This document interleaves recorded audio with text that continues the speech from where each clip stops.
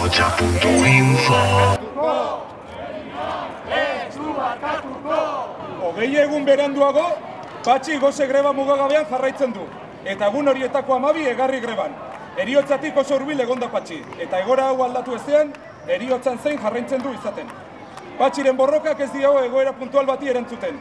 Bere egoera sistema oso baten isla delako. Zer dira bakartzelak, estatu terrorismoaren gauzapena ez badira.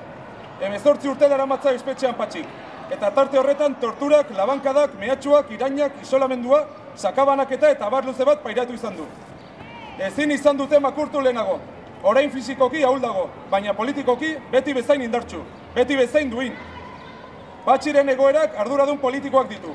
Alderdi instituzional guztietatik hasita eta kartzelariengan bokatuta. Espetxe zaintzako epaileetatik kartzeletako medikuetara. Presoen aurkako indarkeria zuritzen duten sistemaren komunikabideetatik herri erantzuna kriminaliz kriminalizatzen duten soldatapeko sasi bake ezaletara. Patxiren aldarrikapenak zilegi eta zehatzak dira.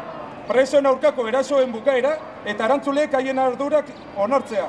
Euskal preso politikoak, politikoak Euskal Herrira eta Euskal Herrikoak ez diren preso politikoak haien etxetara hurbiltzea. Baina hogei egun hauetan zerbait positiboa utzi badigu patxik hori da berea bezalako duintasun jarrera inspirazio iturri bilakatu dela herri mugimenduarentzat. Patxi geldirik zegoen herria jarri du martxan. Salbuespen egoera estali baten ondorioz gure eskubide politiko guztiak desagerrarazita zeuden unean. Amnistiaren aldeko eta represioaren aurkako mugimenduak argi dauka patxiren garaipen politikoa erabatekoa dela jadanik.